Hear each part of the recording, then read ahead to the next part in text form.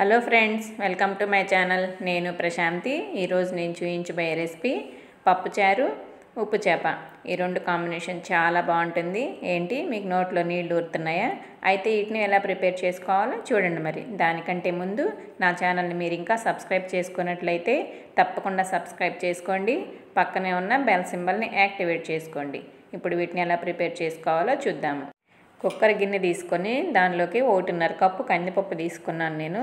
ఈ కందిపప్పుని రెండుసార్లు వాటర్ తోటి నీట్గా కడిగిన తర్వాత రెండు గ్లాసులు వాటర్ పోసి స్టవ్ మీద పెట్టి నాలుగు విజిల్స్ వచ్చే వరకు బాగా ఉడికించుకోవాలి. ఈ ఉడికిన పప్పుని మెత్తగా మెదుపుకొని పక్కన ఉంచుకోవాలి. పప్పుచారులో వేయడానికి రెండు టమోటాలు ఒక ఐదు పచ్చిమిరపకాయలు రెండు ఉల్లిపాయలు తీసుకున్నాను నేను. అలాగే చింతపండుని మనకు పప్పుచారుకి సరిపోయేంత చింతపండుని ఇలాగ నీళ్ళల్లో కడిగి నానబెట్టేసుకోవాలి. ఇప్పుడు వీటన్నిటిని మనం ముక్కలుగా కట్ చేసుకోవాలి. పచ్చిమిరపకాయలు ఇలాగ పొడవుగా కట్ చేసుకోవాలి. ఉల్లిపాయలను కూడా ఈ సైజులో కట్ చేసుకుంటే బాగుంటాయి. టమోటాలను కూడా నేను అలాగే కట్ చేశాను. మనం ఉడికించి పెట్టుకున్న పప్పుని ఇలాగ మెత్తగా మెదుపుకొని పక్కన ఉంచుకున్నాం కదా. దీనిలో ఇప్పుడు మనం నానబెట్టి పెట్టుకున్న చింతపండుని పులుసు తీసుకొని పోయాలి. ఇలాగా చెయ్యి అడ్డం పెడుతూ ఆ పిప్పి అంతా రాకుండా పప్పులోకి చింతపండు పులుసుని పప్పులోకి తీసుకోవాలి. మనకి ఎంతైతే అవసరమో అంత ఇలాగా పులుసుని తీసుకోవాలి. ముందుగా స్టవ్ వెలిగించుకొని దాని మీద ఒక గిన్నె పెట్టుకొని కొంచెం ఆయిల్ వేసుకోవాలి. ఆయిల్ వేడైన తర్వాత కట్ చేసి పెట్టుకున్న ఉల్లిపాయ ముక్కలను వేసుకొని లైట్గా ఫ్రై చేసుకోవాలి. ఇవి ఫ్రై అయిన తర్వాత కట్ చేసి పెట్టుకున్న పచ్చిమిరపకాయ ముక్కల్ని టమాటా ముక్కల్ని వేసుకోవాలి. ఇవి వేగిన తర్వాత ఒక టేబుల్ స్పూన్ కారం ఒక హాఫ్ టే హాఫ్ టేబుల్ స్పూన్ పసుపు వేసి కలుపుకోవాలి.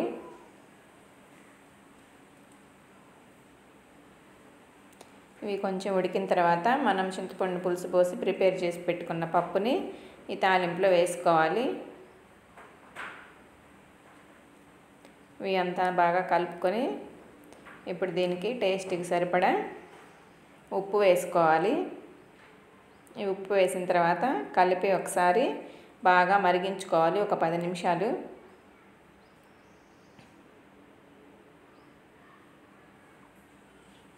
ఇవి బాగా మరిగిపోయాయి.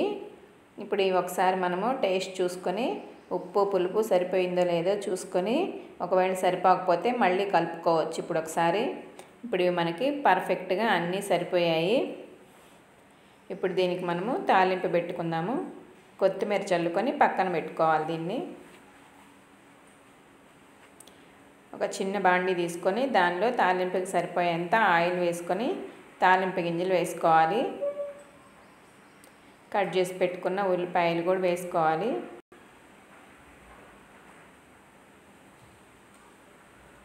పప్పుచారు ఉప్పు చేప కాంబినేషన్ చాలా బాగుంటుంది. తప్పకుండా మీరు కూడా ఒకసారి ట్రై చేసి ఎలా ఉందో నాకు మళ్ళీ కామెంట్ సెక్షన్లో కామెంట్ పెట్టండి. అయిపోయింది తాలింపు కూడా. ఇప్పుడు మనము ప్రిపేర్ చేసి పెట్టుకున్న పప్పుచారులో ఈ తాలింపుని వేసుకొని కలుపుకోవాలి. ఇప్పుడు మనకి పప్పుచారు రెడీ అయిపోయింది. ఇప్పుడు మనము ఉప్పు చేపలని ఎలా ప్రిపేర్ చేసుకోవాలో దాని సంగతి ఏంటో ఒకసారి చూద్దాము. మనకి మార్కెట్లో ఉప్పు చేపలు ఇలా దొరుకుతుంటాయి. రకరకాలుగా చేపలు ఉంటాయి. ఉప్పు చేపలు ఏవైనా సరే మనం తీసుకొచ్చుకున్న తర్వాత వాటిని శుభ్రం చేసుకోవాలి. తోకలు తలకాయలు ఉంటాయి కదా అవి అన్నీ కట్ చేసేసుకొని పక్కన కూడా ముళ్ళు ఉంటాయి చేపలకి. అవి కూడా కట్ చేసుకోవాలి.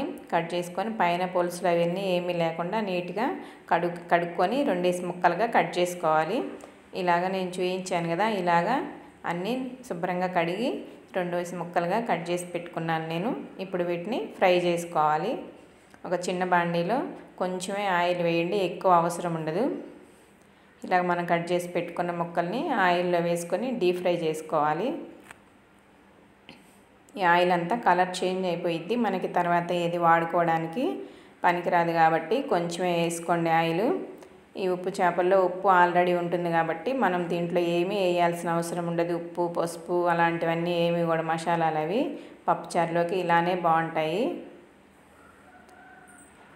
ఇప్పుడు ఇంకా మన దగ్గర ఇంకా ఉన్నాయి కదా అవి కూడా నేను మళ్ళీ ఇంకొకసారి ఫ్రై చేస్తున్నాను. చాలా బాగుంటుందండి పప్పుచారు ఉప్పు చేప కాంబినేషను. మీరు కూడా తప్పకుండా ట్రై చేయండి. చూసారు కదా నేను ప్రిపేర్ చేసిన పప్పుచారు ఉప్పు చేపని. మీరు కూడా ఒకసారి బాగా ట్రై చేసి ఎలా ఉందో నాకు కామెంట్ సెక్షన్లో కామెంట్ పెట్టండి. ఇలా కొంచెం అన్నంలో పప్పుచారు వేసుకొని కలుపుకొని ఒక చిన్న ముక్క చేప ముక్కను తీసుకొని ఇలాగ కలుపుకొని తినేయచ్చు. చాలా బాగుంటుంది. నేను తింటుంటే మీకు కూడా నోట్లో నీళ్ళు ఊరుతూ ఉన్నాయి కదా ఇంకెందుకు? మీరు కూడా ప్రిపేర్ చేసుకొని తినేసేయండి. నా వీడియో కనుక మీకు నచ్చినట్లయితే లైక్ చేయండి. మీ ఫ్రెండ్స్కి రిలేటివ్స్కి నా వీడియోని షేర్ చేయండి. Thank you.